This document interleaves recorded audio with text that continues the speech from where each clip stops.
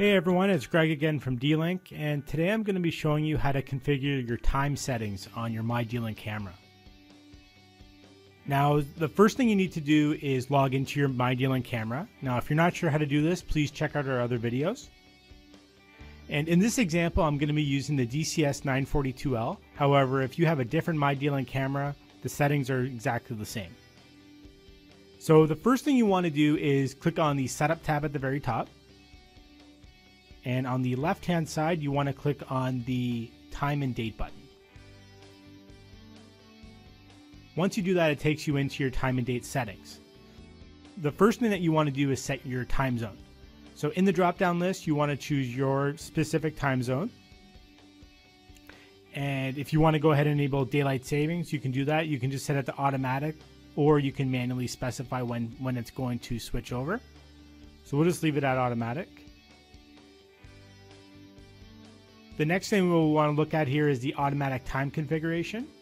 So what this does, it allows you to configure an NTP server or a network time server out on the internet.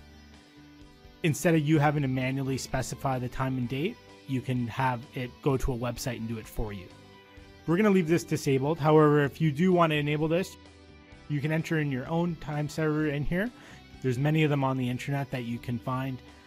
We also offer a couple here in the drop down list that you could use. The last option for setting up your time is for manually doing it. So by putting the check in the set date and time manually checkbox, you can specify the time and date yourself, or you can have it just copy your computer's time clock. So by clicking that button, it'll grab all the information or your time settings from your local computer. And that's it. So from there, you just click on the Save Settings button, and the settings will save. Should only take a few moments.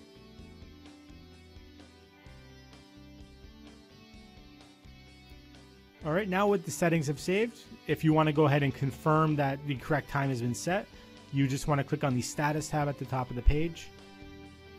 And under information, you have time and date, and your time and date settings are set there. Thank you for watching, and for more helpful videos, please check out support.dlink.ca.